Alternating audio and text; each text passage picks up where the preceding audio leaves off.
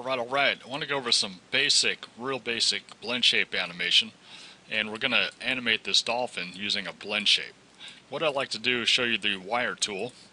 If I go to front view, we have this dolphin. And I want to be able to animate him, so I can go to create CV curve tool. I'm going to put a wire, or in this case a curve, all the way through him. Now, I then want to go to create deformers wire tool I want to click on the dolphin, click on the curve, and I'll hit 4. Now you can see that when I move up the curve, the dolphin moves too. What I want to do is to show you how to adjust this output.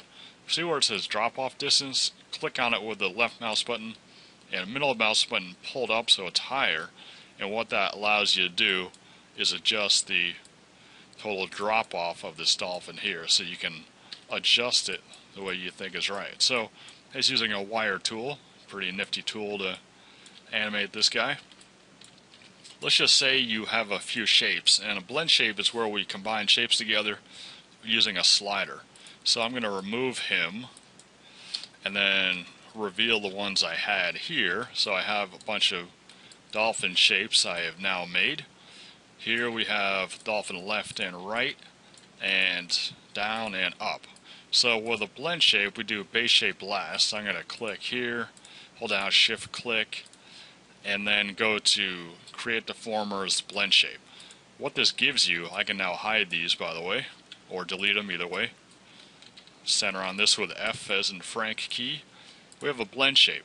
Now this is useful to animate this guy and then we could even put them on a path. So this is a way to, in essence, layer animation.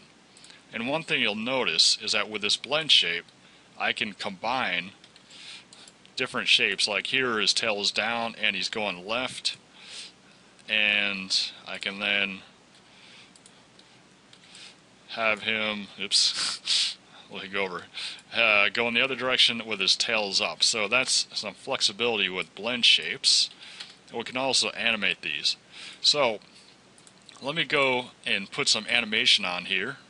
If I go into Window, Animation Editors, Expression Editor, and let me go by Object Expression Name under Select Filter and Blend Shape 1. So let me take this P Cube 8.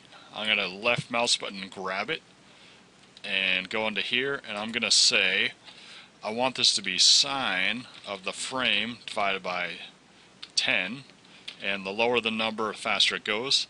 Now here's the trick. Sine goes from negative 1 to 1 and what we are looking for is to go from 0 to 1 which is the shape, the length of a blend shape. Blend shape goes 0 to 1. We, this goes negative 1 to 1 so I want to divide this by 2 and add 0.5 to it. So that makes it negative 0.5 to 0.5, then I add 1, so that goes negative, or 0 to 1. So if I play this, this uh, guy is moving left and right. Then if I grab, copy this for 7, I'll just copy and paste. Make that a 7 right here. Uh, let me, don't get off of here.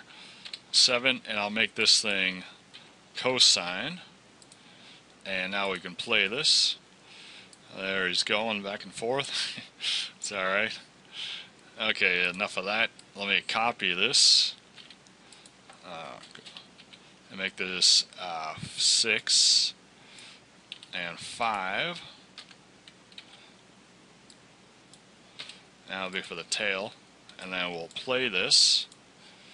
So you can see that we're animating the dolphin and his tail goes up and down. Say you want his tail to go faster we can make this maybe a 4 and a 4.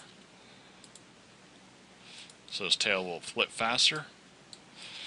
So it's basic character animation, and then the benefit of this is that we can then put this guy on a path.